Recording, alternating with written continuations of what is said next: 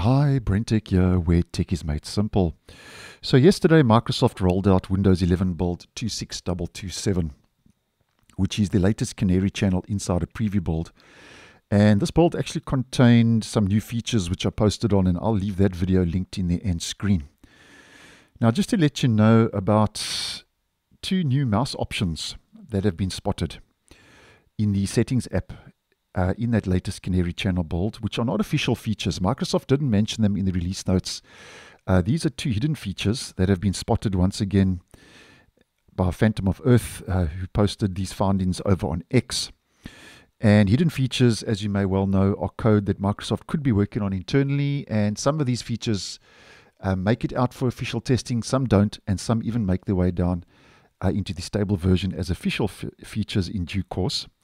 And hidden features, as you may well know, can also be enabled using the third party app ViVeTool. Now, the first of two um, mouse options now that are found in the settings app are the enhanced pointer precision, which is a legacy component currently in Windows 10 and also Windows 11, which is currently only an option in the old mouse properties dialog in the legacy control panel.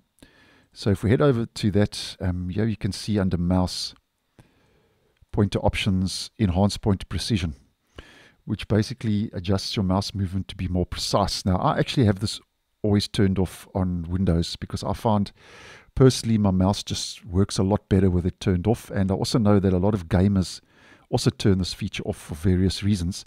So this is the feature I'm talking about, enhanced pointer precision.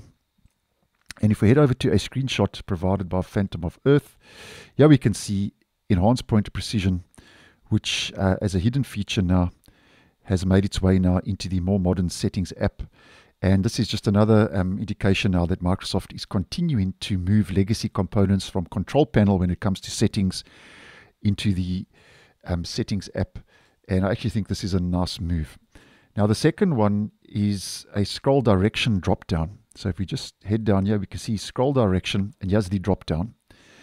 And basically, you will be able to invert the scrolling of your mouse wheel.